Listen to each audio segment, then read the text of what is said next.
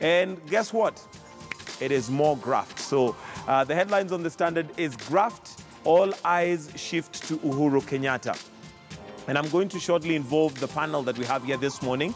Uh, but just to name a few of the scandals that have been mentioned in the standard, just as a reminder, and why all eyes are on His Excellency the President. Uh, we have uh, the National Youth Service. Of course, we know there are two major scandals. There's the 798 bi- uh, million uh, Kenyan shillings that was uh, lost uh, previously. Now we have 9 billion. We also have Karen Land. 8 um, billion linked to 40 members of parliament and state officials. Now we have another scandal that's coming up here the NCPBD, 9 billion paid to undeserving brokers, and the list goes on. You've got JKIA, Afya House, NSSF, TASIA, police CCTV. This really irks me, and this is uh, the CCTV system that was put in place, uh, which cost 15 billion, a whooping 15 billion. But guess what? The CCTV uh, cameras work sometimes, sometimes they don't.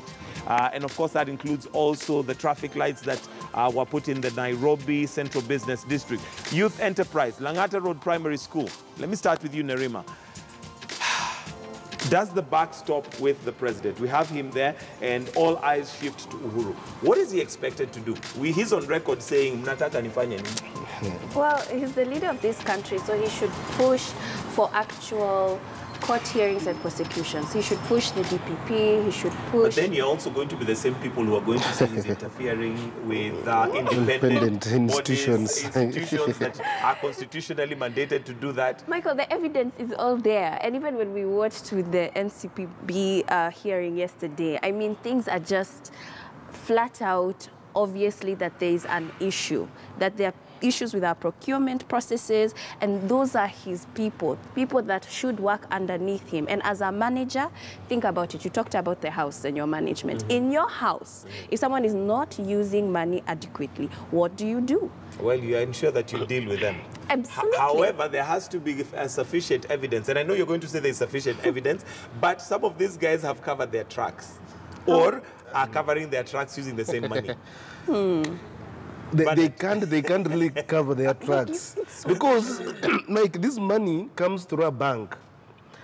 And in most cases when you receive money above 1 million it's flagged. It's flagged. you are called to sign a declaration. You declare where the money came from where the money is going to to, to be used for. is, and yeah. you can't open an account today and tomorrow you are receiving you 60 know million. 60 million in the account. And after one day you are withdrawing all the money you know the banks should join other kenyans in the fight against corruption we have uh, um, uh, anti-banking uh, fraud unit that operates in this country and based at the uh, Central Bank of Kenya.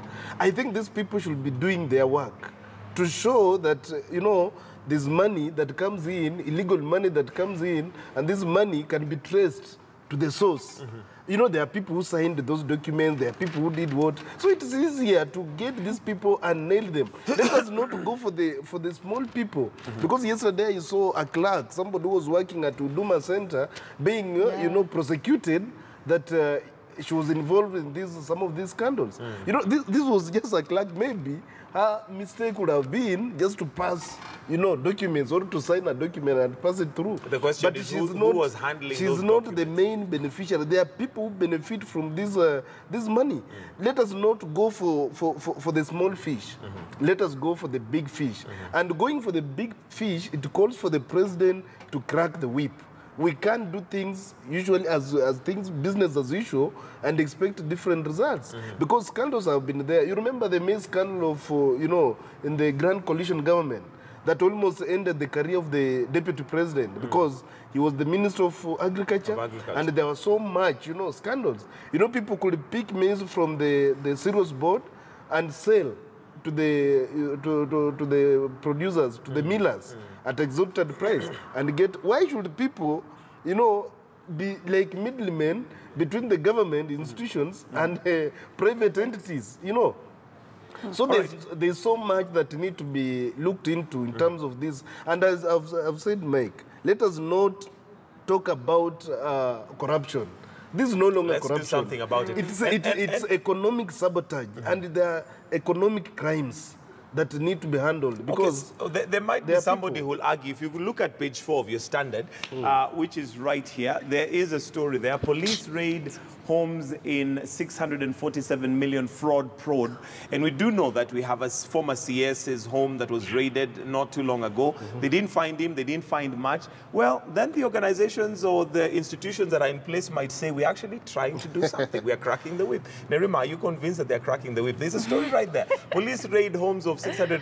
Although, again, it's the, the managers who they're raiding, um, and we're not sure whether they're going to find something. Or could this also be another scripted uh, way of making it look like they're Be- doing before, something? Before Nerima comes in, let me just. You're burning to say something Thi- about thi- that. thi- This is something that, uh, you know, when we talk about uh, police raiding somebody's home, yeah? you know, these police are also human beings. And because there's a culture of corruption, you get this kind of amount in somebody's home, they are bribed with the, you know, a high figure. money disappears. And given the situation of police, the living conditions of our Kenya police, they can't, you know, they, they, they, they can't stop getting a bribe of even uh, 50,000 or uh, 500,000 to cover up a, a, a crime uh, uh, incident. What we need to do is have this, um, uh, is called uh, Ethics and uh, Corruption Unit, uh, Inst- Commission be empowered to investigate so that you know what we are having now is conflict of interest between the national um, criminal investigation department and the and uh, ethics and corruption commission. So how do we merge these entities so that they can work together to to, to ensure that uh, these crimes are actually brought to the to book. All right, and uh, well, we'll wait and see whether that raid is going to yield anything. Oh, uh, yes, you had. I'd, I'd actually put the question to you. Do you feel, or are you convinced that they're actually doing something about it? No, absolutely not. Because when we talk about corruption cases in our country, first of all, they have dragged for years. We still, if we were to convict those involved in corruption, I assure you, it would be a lot of our leaders today. And we can actually start over on a clean slate. And that's how much it means to us. I think we see so many huge amounts of figures. We can't understand as a people how it's robbing from us the future for this country. Mm. And the problem with that, with with the probes that they're doing and in and going into people's houses and raiding people's homes is that in two weeks from now people will fix those doors that were broken down and And move on with goes life Life goes on. And we have many examples we can actually quote that that has happened and nothing was yielded. At some point, remember, we also had the likes of Jimmy Wanjigi's house being broken into uh, with accusations of him having firearms and all that. And that story seems to just have fizzled out and it was what left like that. But let's uh, move on to something else and maybe just uh, on a lighter note. Um, no, uh, there's a picture here which I thought was rather interesting. Now, let me just uh, bring to your attention what this is. These are some people in France who have a competition where you run and jump into mud and basically just have fun with mud. So I have a suggestion for our tourism board. Maybe they should just bring them to Nairobi. Especially now that it's raining. They would not have a hard time, a hard time finding mud and places where they can play. But that also, of course, um, leaves us with a question of how we are doing in Nairobi. Nerima, the potholes are just too big I, I, can't, I can't even drive because i'm afraid of damaging my car. Mm. But it's it's problems we have different problems. When you look at developed countries you know they find entertainment in things that we struggle through every day. Mm. And it's unfortunate that we talk about these things this way. The fact that we are a country a city a city that's one of the most developed in africa mm. And we just like you said the garbage the potholes the mud these are issues again related to corruption if we took care of our corruption we wouldn't have all these complaints that we have on the daily we would be able to talk about a city that we're proud of that it doesn't have to and rain for things to stand I mean, still the whole week we're just talking about corruption. It even uh, limits us to, to you know, talk, look at issues. it's like the weather. develop- It's yeah, it's like You talking know. about the weather, and not much you can do about it. But um, uh, uh, Bernard. We've also had Mike Sonko out apparently running the city from outside the city. He's a man under siege. Uh, Mike Song, I think uh, what's happening to him is that the cartels have really squeezed him and is um, at the center of everything.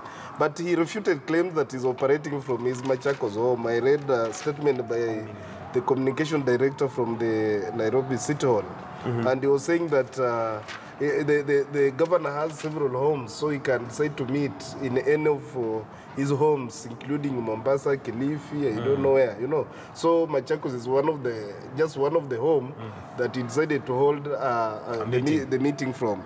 But uh, Nairobi as a city is now in deplorable conditions. Things are bad. And it's upon, you know, this uh, publicity stands by the, the governor and trying to, you know, to cry that you know Katelsa State House is fighting him. I don't know what you know. If he just put his foot down and says, "Yes, I want to work," I don't know what's what's happening with the Sonko, and maybe some people might start now questioning and saying, "Okay, maybe leadership." Uh, uh, runs concurrent with the level of education because uh, during Kidero's time, uh, Kidero is a, uh, I don't know, he's a medical doctor. Um, during his time, we didn't have him crying so much, complaining so much, despite the fact that he was in opposition and the government ODM or CORD and the government of uh, the Jubilee was there. But now we have a governor who is in government. But he's still crying that uh, you know he's being controlled or he's being uh, his services are being uh, you know uh, curtailed His by power by, is by, being usurped by, by, by, by state house. You know. These are things that they can sort out as a party within Jubilee and say okay it's our responsibility to ensure that Nairobi County is running. And if Sonko is unable to run this county, I think it will be honorable for him. To you know, it, it will be even uh, uh, it, it, will be a legacy for him to just call it a day and say, okay, And resign. Nairobians, you elected me, but it seems I don't know what I went to do in City Hall. So please allow me to to engage in other things. Okay. He can run for MP. He did very well as an MP. He can run for MCA. He said um, MCA and president is the only position that is now he can run for. He can run so for. he can go and run for MCA. But Nairobi looks too huge for Sonko. And and well, you say that he said he can run for MCA and president. He probably Yeah. would go for president. Uh, but uh, let's wait and see. Nerima, do you see a day where we have a leader of that uh, stature and caliber, basically doing the honorable thing? If you're unable to work, just say that I have been unable for whatever reasons. Uh, Case in point, somebody like Polycarp. He had a very good job and he said, given the way things are going here, I really cannot deliver what I promised the, the Kenyan people, uh, Nairobi people, and I quit. Mhm. I think I think that it's it's possible, but you also have to remember, even with Igathe, when he did that, he was criticized. And culturally in Kenya, it seems that when you do give up or when you do say you would like to resign, we don't find that reason justified enough. Because even when we look at the boards where we've seen again these corruption issues leadership should resign from it because mm. you are not able to stop it or as a leader you are held accountable and responsible for it. So we saw with the ncpb where the commissioner did resign last mm. week. And so that's something that in kenya we don't see quite often. And i do believe that in the future we'll begin to see more and more people mm-hmm. standing up and holding themselves accountable.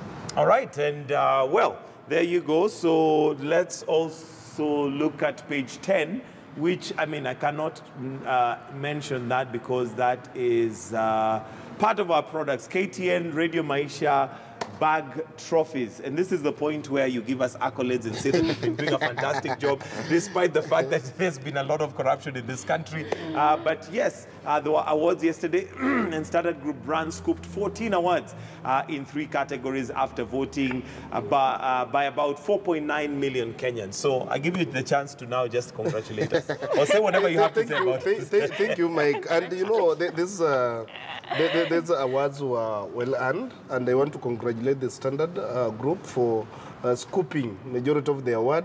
And one thing I would like to say is that uh, I think uh, KTN News and uh, KTN generally have given a platform to several people, especially the uh, upcoming, you know, professionals uh, who are able to articulate issues and, you know, engage in uh, uh, serious discussions uh, on matters that affect this country. So I think the platform that have been given, you know, initially you could not get uh, young people like uh, the two of us here seated and, you know, engaging in this kind of discourse.